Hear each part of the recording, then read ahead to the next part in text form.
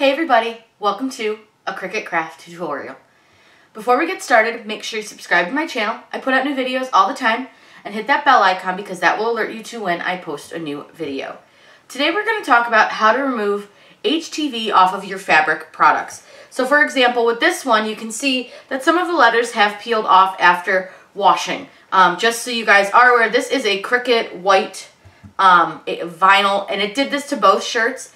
So I am removing this and I'm to redo it with the Siser EasyWeed Stretch. And I'm also just to take off the glitter too, just so that it's easier and it's done. So I'm to show you guys how we can use the VLR, which is right here. Um, and this is a letter removing solvent is what it's, it's called. You can get this on Amazon. This bottle was, I believe, about $20.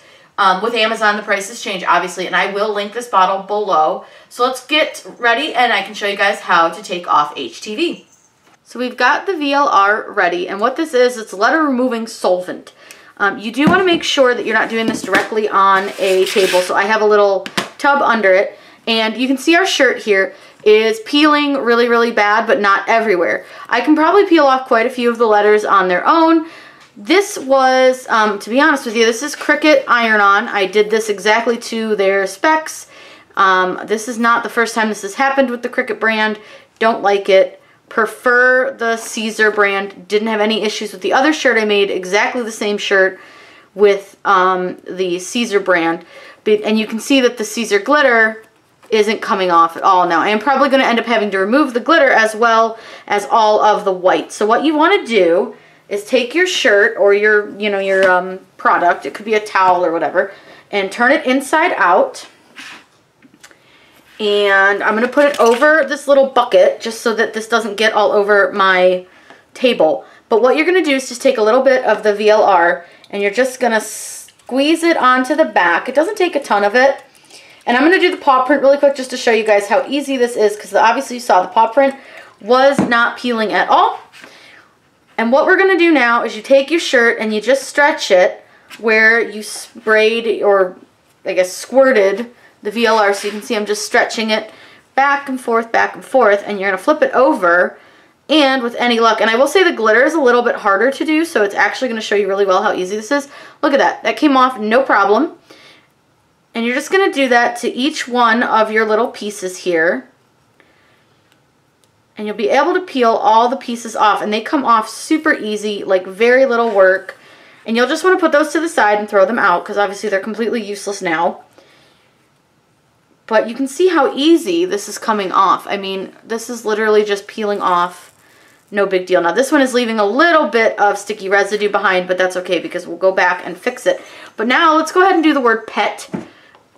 And you just, again, just squirt some VLR on it. And you can do this to the, I find it easier to do it to the back of them.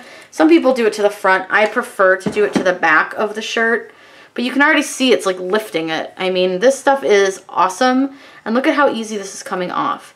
Now you can see the spots where I didn't get the VLR on them yet, so they're not coming off quite yet, but this is so easy to do, and you just peel it. I mean, this is this takes no time at all. It'll fix your mistakes. And the best part is if you have cruddy vinyl like this is, you can easily take it off and you'll want to wash the shirt. I always um, wash it right after I do the VLR just to make sure that there's none of that stuff gunk left on it and then I can make a new shirt which I think is really nice that you can fix any of these crappy vinyl things that get messed up. So I'm going to go ahead and finish doing this shirt. Um, and you guys, I hope you enjoyed seeing how easy VLR to, is to work with. But look at this. I mean, here's this, here's a little piece right here, right, that we don't have any VLR on yet. And we're just going to go ahead and squirt her right on there.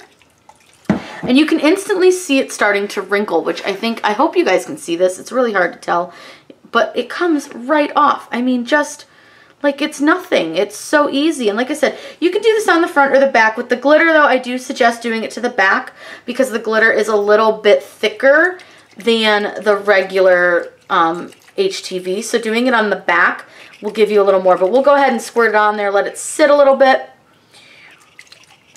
And this is a great way to fix any of your mess ups. You can also use a Q-tip if you've missed a spot um, weeding or things like that, you can easily get the vinyl off just by putting VLR on it. If you guys have any questions, please let me know in the comments down below. I'm always happy to answer those for you. Make sure you subscribe to my channel. I put out new videos all the time. Hit the bell icon. That will alert you to when I post a new video. I hope you guys had a fun time and happy crafting.